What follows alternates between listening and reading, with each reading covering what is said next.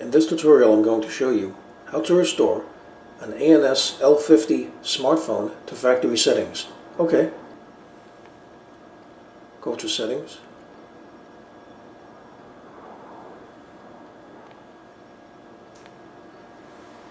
Backup and reset.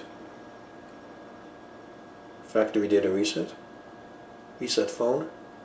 Erase everything.